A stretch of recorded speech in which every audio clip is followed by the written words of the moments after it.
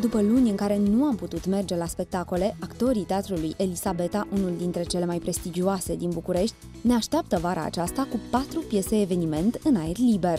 Prima pe listă, o comedie savuroasă care s-a jucat cu casa închisă încă de la prima reprezentație. Pe 1 august vom juca piesa Dezbracă-te, vreau să-ți vorbesc. Nu zic eu, așa e titlul.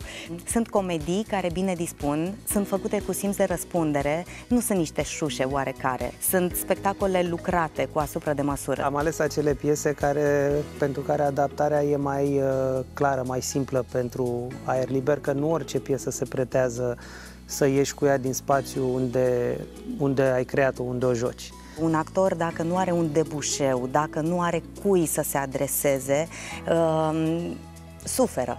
Mi-aș dori ca oamenii să nu creadă, deși trecem prin momente grele, că se poate fără teatru. Nu cred că se poate. De aceea există de mii de ani. Dacă ați stânjit după întâlnirea cu actorii și visați la o porție bună de râs și relaxare, notați cu atenție, ne așteaptă programul următor patru reprezentații, două în uh, Amfiteatrul Mihai Eminescu din Parcul Național și două în Parcul Herăstrău. Începem cu um, piesa Dezbracă-te, vreau să-ți vorbesc, pe data de 1 august la ora 20.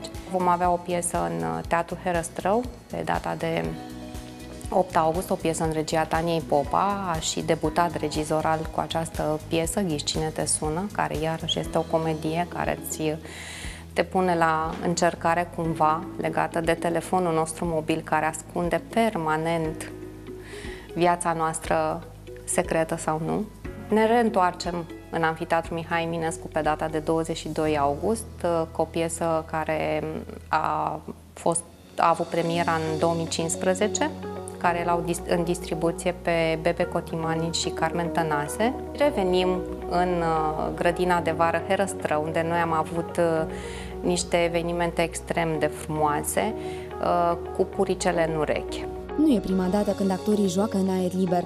E deja o tradiție ca pe timpul verii actorii teatrului Elisabeta să continue să se întâlnească cu publicul la spectacole în grădini de vară sau pe litoral. Acum o vor face la fel, dar cu respectarea tuturor regulilor impuse de pandemie. Am jucat odată în ploaie.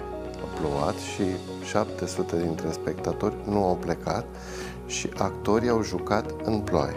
O parte din scenă era sub uh, picăturile de ploaie și pentru ei a fost o bucurie pe care n-au simțit-o până atunci unii dintre ei. Nu aveau umbrele, nu s-au pregătit, dar au spus noi nu plecăm, vrem să vedem piesa până la capăt. Actorii teatrului Elisabeta abia așteaptă întâlnirea cu noi. Ei vor fi primii care vor citi pe chipurile noastre cum ne-a schimbat această perioadă cu care nu ne-am mai confruntat niciodată. La noi e cel mai greu, pentru că noi lucrăm cu sufletele oamenilor, nu știm care este șocul emoțional și psihologic pe care pandemia l-a avut. Cultura, în general, este un barometru extraordinar despre cum îți merge treaba în economie, în politică, din cum reacționează lumea la poante, la ce tip de comedie reacționează, noi imediat știm nemulțumirile oameni, imediat îi vedem cum vin, pentru că omul aici nu vine cu masca pusă. Aici omul se relaxează, își dă jos masca, începe să fie liber. Tocmai această legătură profundă dintre actori și public a făcut ca teatrul Elisabeta să fie unul dintre cele mai iubite din capitală. O echipă solidă de oameni pasionați care fac artă într-o instituție privată care se susține exclusiv exclusiv din fonduri proprii. Am ajuns, iată, la 14 producții um, într-un teatru eminamente privat, fără niciun fel de sponsorizare, fără niciun fel de susținere de la bugetul de stat.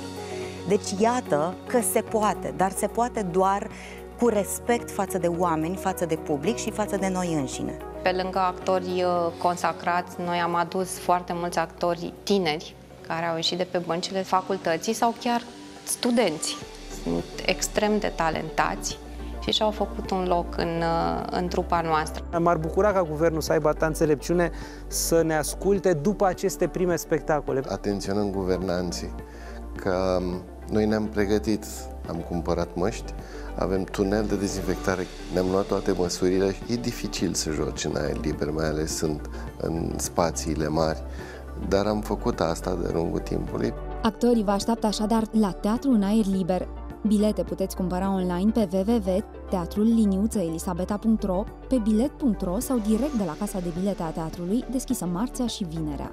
trebuie să știe că am deschis și că jucăm pentru ei. Abia așteptăm să jucăm.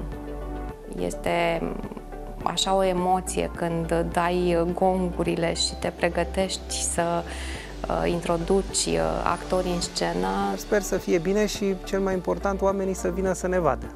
Ne e dor de ei, sper că și lor de noi. Mi-aș dori foarte mult să ne spunem, dincolo de cuvinte, ce ne-a lipsit nouă ca actori și vouă ca spectatori.